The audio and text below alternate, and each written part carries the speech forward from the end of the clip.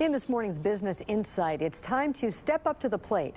Step Up to the Plate is a foodie event, my favorite kind, that benefits Camp Possible, which is run by Talbert House. Camp Possible is a therapeutic-based summer program for children ages 6 to 12 who struggle with behavioral health and need a safe, structured, and stable environment beyond their classroom. Step Up to the Plate is Saturday, November 5th from 6.30 to 9.30 at the Phoenix. Event co-chair Peter Hiltz, who is a trustee of the Harold C. Schott Foundation, and Nikki Boberg, Associate Director of Youth Behavioral Health Services at Talbert House, overseeing Camp Possible, joined Business Courier publisher Jamie Smith in the studio with more. Thanks, Peg. Guys, thanks for being in today.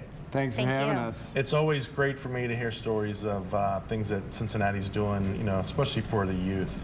So let's talk a little bit, Peter, first about what is Step Up to the Plate? What's it all about? Well, Step Up to the Plate, Jamie, is the 13th annual Talbert House culinary um, party.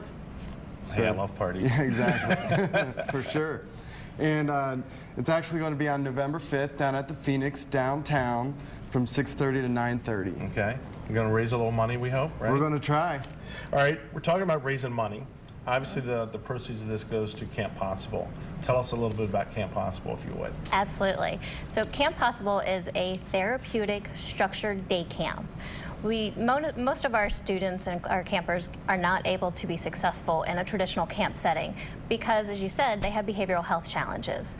So at Camp Possible, we teach them positive behavioral choices and then reward them for making those behavioral choices. And we do this through a variety of mediums. We do group individual therapy, we use music, Legos, martial arts. Um, in the morning, we teach these skills, and then in the afternoon, we give them recreational and enrichment activities So to be just like able to apply camp. those skills. Absolutely. We also take them on field trips once a week to different um, different places throughout the city that they may not otherwise be able to go to, like the Freedom Center, the Reds Ball Park. Um, we've done different things throughout the last couple of years. Oh, that's awesome. Um, well, talk a little bit about the fundraiser. What makes it unique? I mean, obviously, you're talking culinary, so I'm assuming there's some good food there. Yeah, I mean, this event really is for, for the foodies.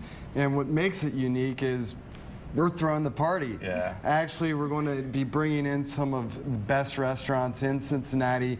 Got Jeff Ruby's The Precinct, got National Exemplar.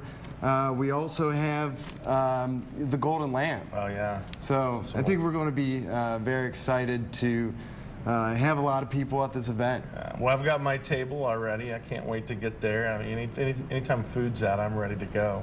Uh, but it sounds like a fun event. I have not been before, but I'm looking forward to it. I think there's a silent auction Yeah, uh, well, as well, or you know, a little different. little We're- offers. Yeah, we're going to have um, some friendship bracelets that we actually made at camp with the kids.